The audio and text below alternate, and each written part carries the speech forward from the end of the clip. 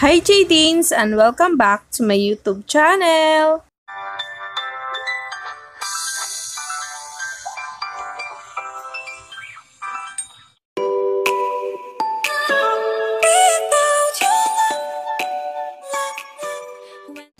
Nadine Lustre, may kapansin-pansin daw sa live ni Team Yap.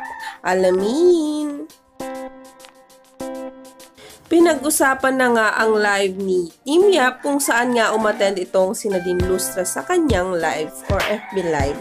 Ito nga, dito nga guys na tanong kung ano nga ang ginagawa ni Nadine Lustre. So ito guys ang unang picture.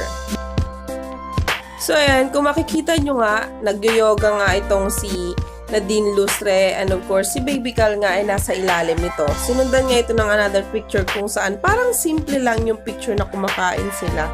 Pero ito guys, mayroon talagang napansin ang netizen. So ayan, tatlo daw yung plate.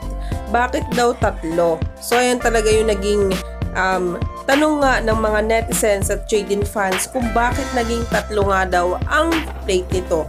So nagtrending agad ito guys at pinag-usapan at sabi nga daw ang tanong, sino kumukuha ng picture ni Nadine?